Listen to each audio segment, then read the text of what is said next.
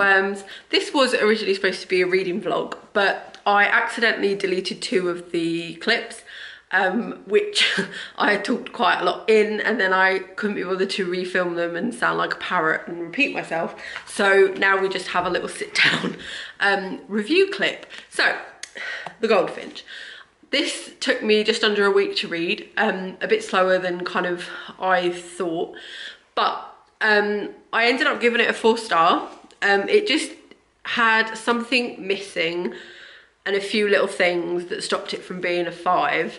Um, I've read other chunky books, um, like A Little Life, um, The Heart's Invisible Furies, um, what other ones? I don't know, and a few others that are kind of chunky beasts that I would have happily read if they were longer. And even when I finished, I wanted more. Um, with this one, I feel like it could have had a bit of a trim. Um, and if it was longer, I think it would have been in danger of being like lower rated or given up with.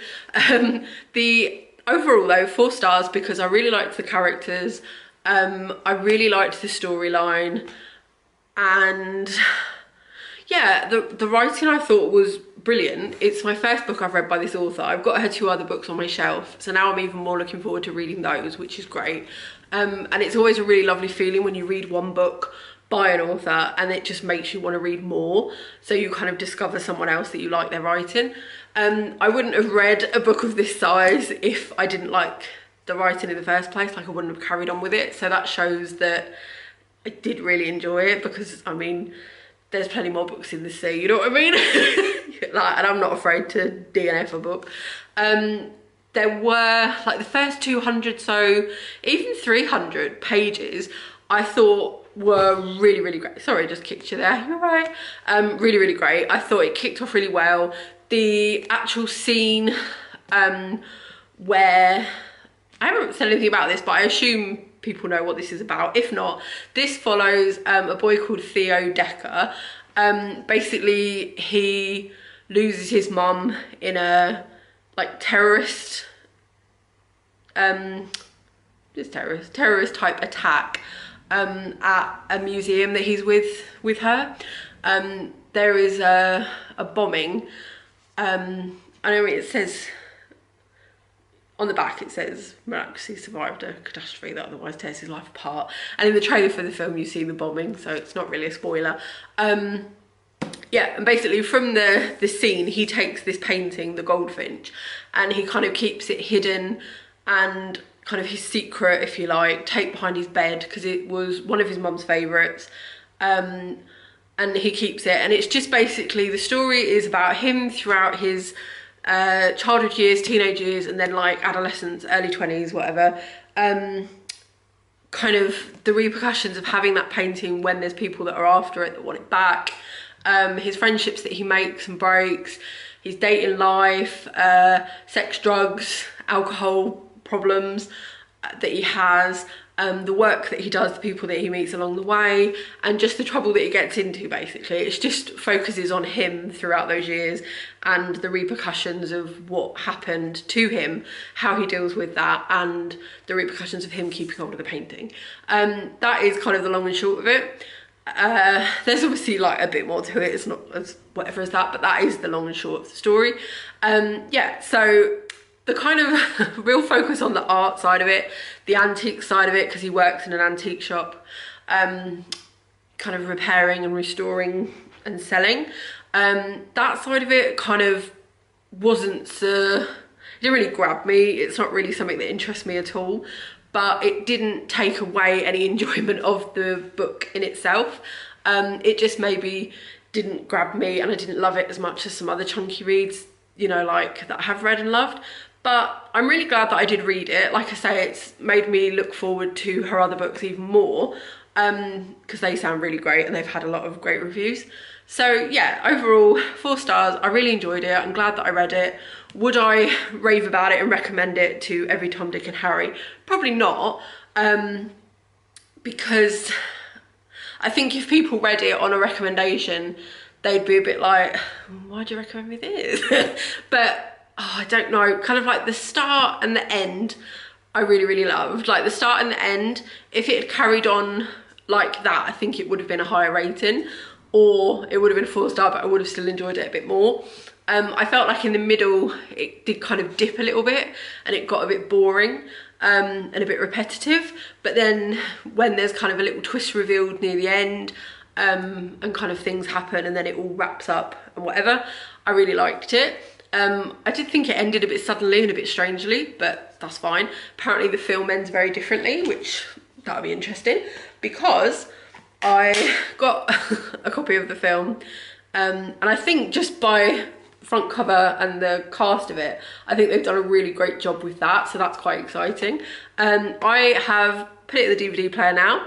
I've just made myself a cup of tea. I've got two hot cross buns and I'm ready for this two hour and 23 minute film. I don't normally watch films that that long unless they're Marvel or very special allowances. Um, I, sometimes I don't have the attention span for it, but um, I will check back in with you after I've finished and let you know what I thought of that. so I'll see you in two hours and 23 minutes. Okay, wish me luck. Well, it successfully held my attention for two hours and 23 minutes. So that is quite an impressive thing. Um, I will say probably, well, in, in our house, we rate films out of 10 popcorns. So out of 10 popcorns, um, I would probably give it like seven and a half maybe, seven, seven and a half. Um, the main thing that I liked about it was the casting of it because everyone like brilliant, brilliant, brilliant, brilliant. Everyone was brilliant. Um, and I thought that it was just really well casted, especially because um, I never normally watch a, read a book and then watch the film so close together. So I don't kind of always remember everything that was in the book when I'm watching the film. But it was a really good kind of experience to read the book and then kind of a day after I'd finished it to watch the film. So I'm definitely going to do that more. Um, there's books that I've got that I've um, kind of have the film and have watched the film and really liked it, but I've never read the book. So I'm to definitely do some of them like this kind of video, which will be interesting. Um, yeah, so all in all, I did really enjoy it. Um, like I say, held my attention for that long, which is very impressive. Um, yeah, so I'm really glad that I watched it and read it as well. It was a fun experience to do the back-to-back. -back. Um, I think they did a really good job with the film actually, I think it was really good. Um, I liked the way that it flashed back and forward between Theo when he was younger and when he was older, um, and kind of where he was in his life and who he was with and what was going on. Um, yeah, the ending was a little bit different, but I didn't think that it was, it didn't really affect it that much. I think both book and film were kind of good. Um, I still think that both of them do have a bit of a sudden ending for me. Like, I don't know, I just, it felt like it just ended. Almost i don't know. But i suppose it works sometimes doesn't it? But yeah um all in all like i say seven seven and a half maybe out of ten which isn't bad at all. Um yeah there you go. I'm glad i'm glad i watched it. Quite good. Yeah there you go. And um, so yeah i'm gonna do this again with um basically the series if you like is gonna be called um like tackling a beast or something like that. Um so any chunky books that i have got um, obviously I've got quite a few that I can think of and some that I included in my list of ones that I'm determined to tick off the TBR this year. Um, so yeah, I'm going to do a little video kind of review dedicated to them separately um, as well on like Bookstagram and that as well. Um, and then also to watch some film adaptations and read the books that they're from kind of back to back as well and do like a little review. One that springs to mind, just seeing Nicole Kidman there, is um, the film Before I Go to Sleep.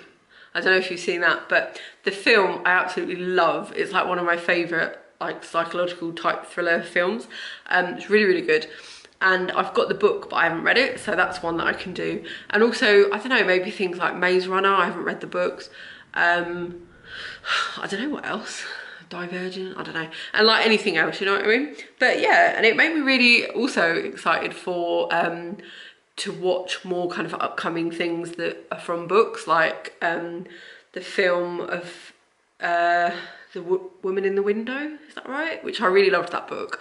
And the trailer looks really good. I think it's got Amy Adams playing the lead, I think. Um, so yeah, whenever that comes out, that would be good to watch and reread the book because I've kind of forgotten a bit of it. But anyway, that's for another time. Anyway, thank you very much for watching as always. Um, I hope this has been entertaining in some way and I will see you in a couple of days for a new video. So uh, bye.